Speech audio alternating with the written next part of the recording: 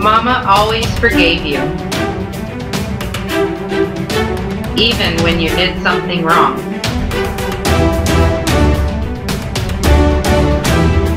Wouldn't it be nice to get that? In the real world. It is time to make your world a better place to live. That is God's plan. You can. With the Almighty, you can be forgiven by accepting Jesus. Are you in good hands?